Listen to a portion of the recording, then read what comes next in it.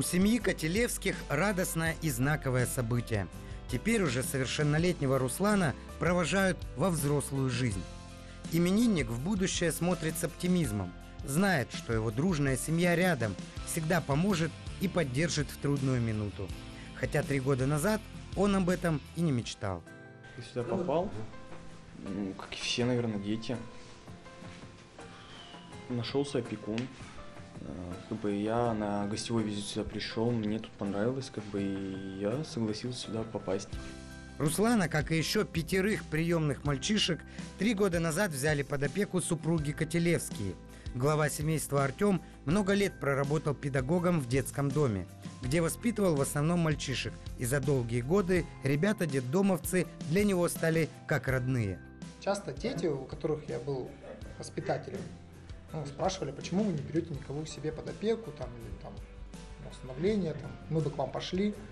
Как-то это, наверное, первое зерно задало. Вот. И через какой-то промежуток времени э, наступил период, когда я уже решил, что я уйду с этой организации, но у меня в группе были еще мальчишки, которые, которым оставалось 2-3 года до выпуска. Ну и взял ребятишек. Троих семья Котелевских уже воспитала. Они теперь хоть и живут самостоятельно, но связи с приемными родителями не теряют. К примеру, Николай этой осенью отправится в армию и усиленно к этому готовится. Часто заезжает к родителям. С братьями закаляет тело, а с родителями – дух.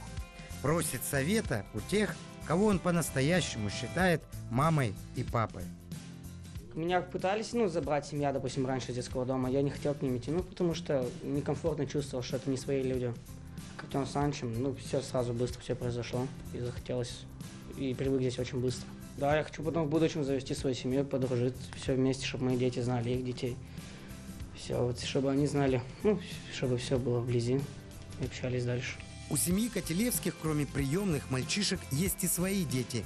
И несмотря на такое количество ребят, проблем с той же уборкой в доме нет. Конечно, чтобы привить дисциплину и приучить к порядку, понадобилось время. Но именно из таких нюансов состоит родительское воспитание. Нам хотелось помочь ребятам, вот, хотя бы сделать что-то, что в наших силах. Конечно, мы родители не заменим им, и то, что у них у всех за спиной ну, какие-то свои очень переживательные такие моменты, но тем не менее мы стараемся что-то им дать, чтобы у них э, осталось что-то светлое в душе, и они видели, что бывает по-другому, что все-таки может быть хорошо. И тем более мы ходили вместе в походы все, где мы жили там месяцами в палатках, в таких спартанских условиях. Вот, мы очень сдружились. Конечно, горжусь своими мальчишками, они молодцы, а, они все социально устроены, а, все, ну, которые выпущены ребята, да, получили квартиры. Большое спасибо нашему государству, которое показывает, помогает детям данного типа а, в старте своей собственной жизни. Ребята гордятся своими приемными родителями не меньше. И по атмосфере в доме чувствуется, что эта семья создана на долгие годы. А кто-то только начинает этот путь. О том, чтобы взять ребенка под опеку, Анна Носова задумывалась давно. Свои дети выросли и разъехались, появились даже внуки. Анна Александровна прошла школу приемных родителей. Да вот дальше дело не шло. Закрутили дела и заботы о доме, о хозяйстве. И, возможно, планы о приемном ребенке остались бы только планами, но помог случай. Получилось так, что Миша к нам, у нас в детском доме был карантин, и Миша к нам, пришлось его взять, чтобы другие детки не заболели. И супруг как бы обратил внимание, почему ребенок, как бы Миша такой эмоциональный, добрый, ко всему, ну, как бы все ему интересно. Как раз время лета было, он помогал нам на огороде. Потом на тот период уже была пройдена школа у меня, вот, приемных замещающих семей. И как бы супруг вот меня начал к этому, что давай как-то там же надо медкомиссию все проходить. Миша появился в семье Носовых полгода назад. Сейчас мальчику 14 лет. Он ребенок с особенностями развития. Но это опекунов не пугает.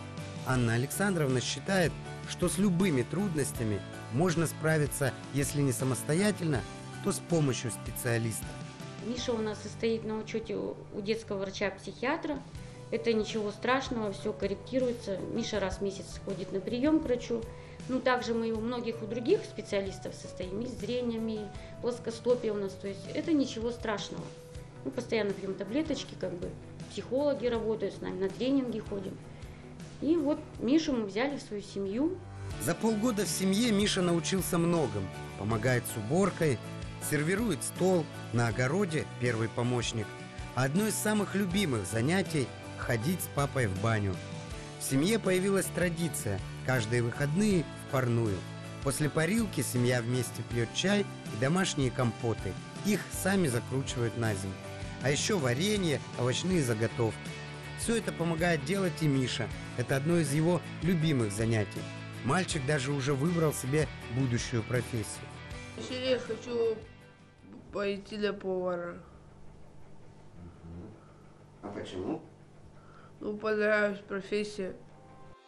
Если для семьи Носовых Михаил единственный приемный ребенок, то супругов Петрушкиных можно назвать многодетными опекунами.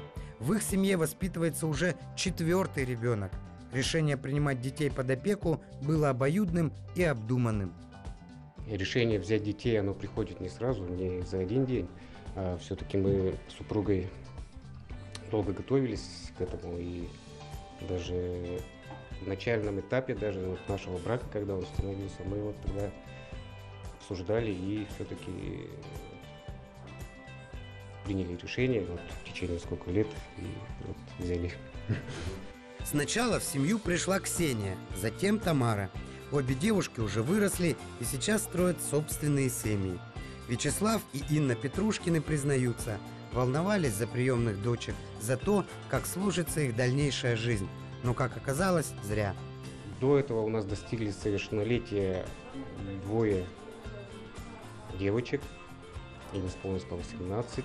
И мы даже с Ниной беспокоились даже, как вот будет происходить дальше. И сейчас очень много общаемся, даже каждый день девчонки звонят нам, это, э, спрашивают совета где-то, где-то, э, делятся переживаниями своими, вот, радуются.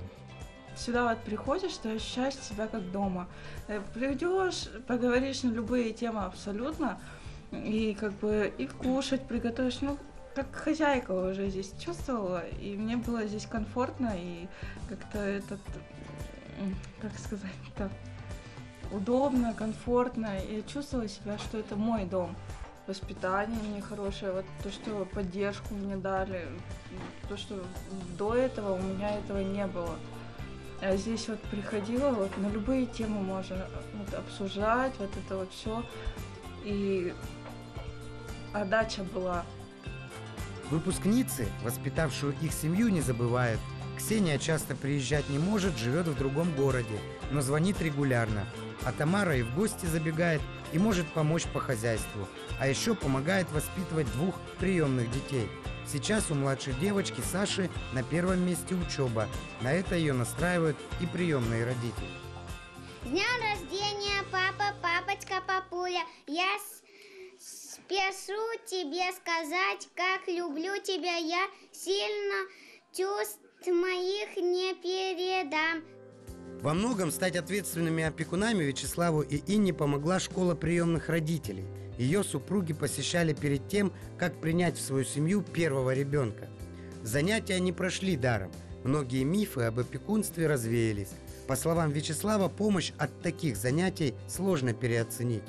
Помогает она в первую очередь это общение, живое общение с более опытными приемными родителями. Они делятся своим опытом, наставляют, скажем, дух такой наставления, как правильно, как вот э, также работа со специалистами органов опеки и психологов. Обучение в школе приемных родителей не научит всему, но даст главное – уверенность, что ты не один, что есть у кого попросить помощи в непростой или незнакомой ситуации. Сейчас супруги Петрушкины уже и сами могут быть наставниками для тех, кто только собирается взять ребенка под опеку. А самым главным своим достижением считают то, что сумели подарить своим приемным детям дом и семью. Мне тут нравится, я занимаюсь, всем занимаюсь. Это мой дом. хорошо тут жить. Все наши герои – жители Ханты-Мансийска. Сегодня в окружной столице 95% детей проживают в замещающих семьях. Процент мог бы быть абсолютным, но после реорганизации трех окружных учреждений всех сирот, которые там проживали, перевели в Ханты-Мансийский центр помощи детям, который был организован на базе теперь уже бывшего детского дома «Радуга». Теперь в автономном округе функционируют две организации для детей-сирот и детей, оставшихся без попечения родителей. Все дети автономного округа в возрасте от трех лет, а, которых не удалось устроить семью, помещаются под надзор в Ханты-Мансийский центр помощи детям, оставшимся без попечения родителей. А дети до трех лет в Уральский специализированный дом ребенка. Все дети должны жить в семьях. Это одна из главных социальных задач и направлений государства. В Югре этот показатель максимальный. Свыше 99% всех детей живут в семьях. Югорчане, вот приемные семьи, они очень надежные люди. На севере ведь не, жить на севере, в Сибири невозможно, не помогая друг другу. Поэтому я глубоко убеждена в том, что психология наших жителей автономного округа именно такая. Подставить плечо в трудную минуту, помочь друг другу, быть надежными, быть настоящими ответственными родителями. Ну, а наша задача создать условия, чтобы приемные родители, опекуны, попечители, установители чувствовали себя уверенными в стабильности, а, в том, что а, государство им помогает, помогает своевременно, предоставляет все а, государственные гарантии, которые установлены законодательством. И вот совокупность вот таких вот основных составляющих, она играет очень важную роль. Важную роль в Югре играют школы приемных родителей. Они есть в каждом городе и поселке округа. В последнее время активно подключились к этой работе и некоммерческие организации. В таких школах работают психологи, специалисты, врачи, которые весь свой опыт вкладывают в подготовку будущих замещающих родителей. Этот опыт мы имеем очень давно. Причем он был реализован даже при поддержке самих замещающих родителей. Тех, которые у нас уже и 15, и 20 лет принимают на воспитание детей-сирот и понимают, как это важно, чтобы взрослый человек был готов принять в свою семью ребенка а, из другой семьи и подарить ему любовь, заботу, ласку, терпение э, вот для того, чтобы поднять этого ребенка и помочь ему быть успешным в этой жизни. Кроме того, будущие приемные родители проходят тщательные тесты, и поэтому случайных опекунов в Югре нет. Те, кто не готов взять детей, просто отсеиваются специалистами на начальном этапе. И остаются достойнейшие. Те, кто сегодня готов подарить детям то, чего им больше всего нужно. Заботливую и любящую семью –